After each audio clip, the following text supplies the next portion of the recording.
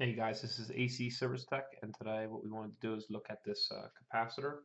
Uh, we're going to learn how to check it and uh, and replace it with one link style. Okay, so uh, this is a dual capacitor. All right, so it has three spade terminals. What the first thing you want to do with the outdoor condensing unit or the heat pump, you want to go ahead and turn that power off. All right, and then you can go ahead and take your um, wire strippers and cutters and go ahead and grab a hold of them, and you want to wiggle it a little bit and pull up just like that.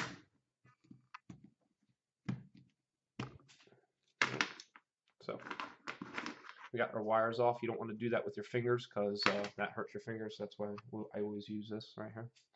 Um, all right, so uh, when the co compressor and the fan turned off last time, uh, hopefully most of the uh, charge would have dissipated out of the capacitor while trying to power the uh, blower motor and the fan. But just in case, what we're going to do uh, is we're going to go ahead and short across here. And you're going to need to do that anyway, just to get any remaining uh, voltage out of that um, capacitor. All right, so you're just going to take it from C to fan and and uh, C to Herm.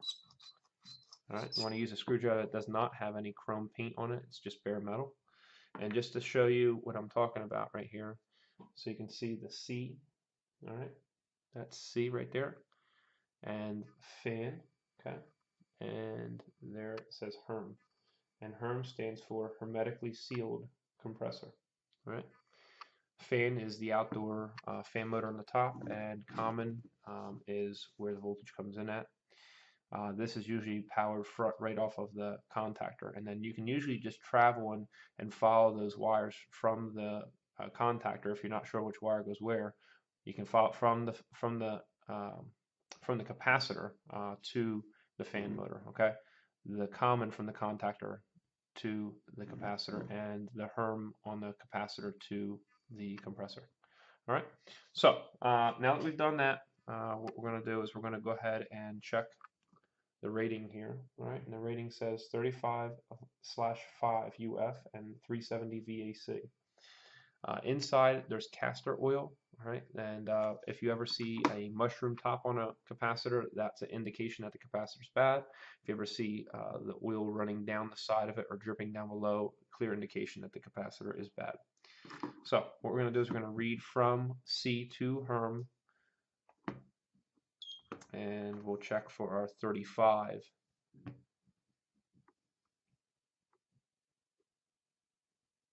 You want to give it about 5 10 seconds to get a good reading on it. And here we go. So it says 36.46 UF. All right, so that's pretty darn close. It's a little bit above 35. All right, so that's good. Um, you do not want to have something that's uh, out of parameters like 5 6%. Say um, say it's like 30 UF. That would definitely be bad. You know, I wouldn't say I would say that you would not want anything that will be less than 34. But anytime a capacitor reads lower than what it's supposed to, I usually end up replacing it. If it reads a little bit higher, I wouldn't let it go any higher than about 37, but normally they go down, not up. All right, so now we're going to check from common to fan. All right.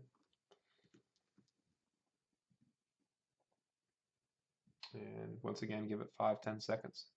And we read 5.22 UF, all right? So that is good. That's within uh, 5 uh, to 6%. All right, UF and microfarad mean the same thing, um, and uh, that's just an old factory lingo as UF. All right, they do mean the same thing. All right, that's that. And uh,